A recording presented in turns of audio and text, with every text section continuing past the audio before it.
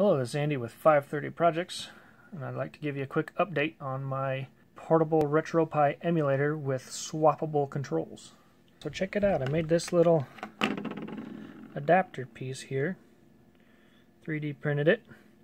Um, same feature as the back of the, well, let me show you. So I made the same feature as the back of the case, same little dovetail. So that what that allows me to do is then I can take this and put it onto the USB hub stand. Then I can take my controller and plug this in.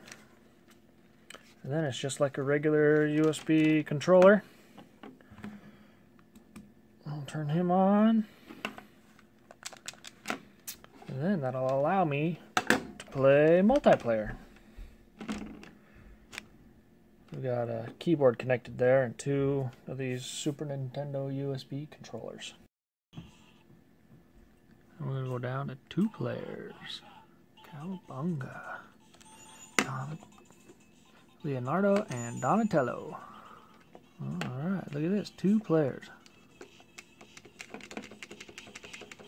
Here we go. That's the button I wanted.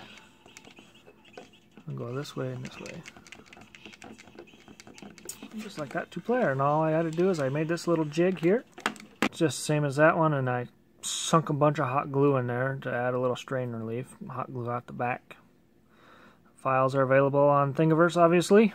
If you want to know more about my portable RetroPie emulator with swappable controls, check out my video submission to the Element 14's Hack Like Heck Challenge.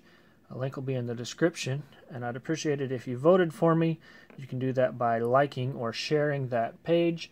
For some reason, you can't do it from a mobile device. It has to be on the desktop version of the website. Please be sure to like, share, and subscribe. That would be excellent, and I'd very much appreciate it. Thanks. Bye.